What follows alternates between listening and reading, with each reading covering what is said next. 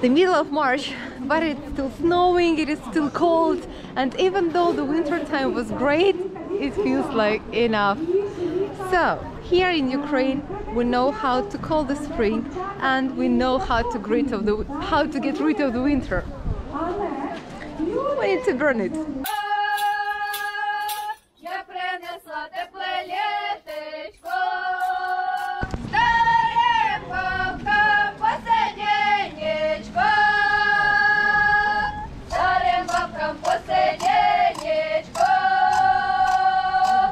many of you know the Russian holiday called Maslenitsa, the ritual of farewell to winter. They eat pancakes, fight wall to wall, and burn a scarecrow of winter.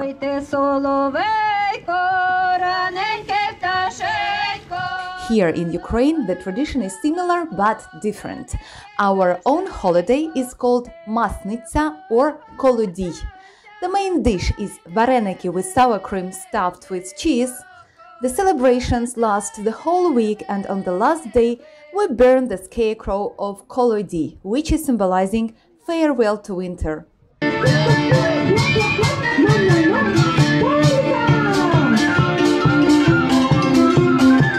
On this day, you should as well ask for forgiveness every person you meet or you know, and the proper answer would be God will forgive. So in Ukraine, we have great celebrations before the Great Fast, before the Easter fast. Yeah, when you're fasting, you are not eating meat.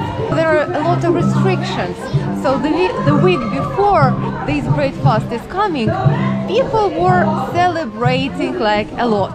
We dance a lot, sing a lot, eat a lot, and drink a lot, and have a lot of fun.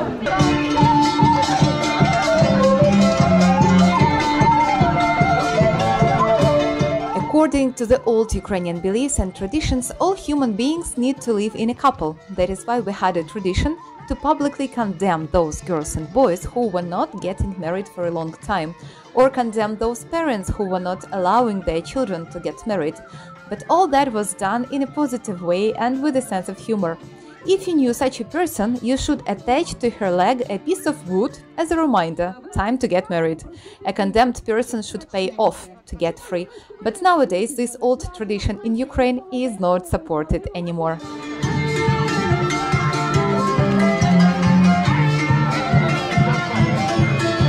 These days we are saying goodbye to winter and we are calling the spring to come with the traditional songs called Vesnyanki, the spring songs. Де ти зимувала?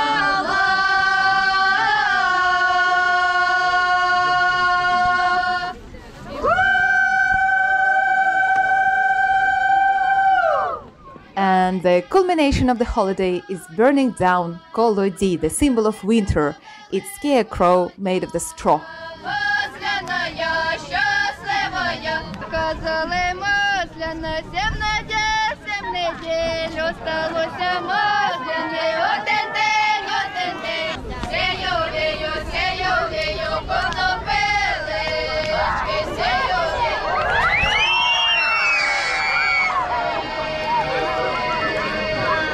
Okay guys, thank you for watching. Hit subscribe and like button. That was your guide in Ukraine, Olena.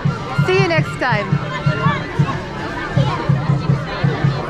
In my family, we have our own small family tradition. Kids are making a figure of winter from paper and we burn it together for the spring to come soon.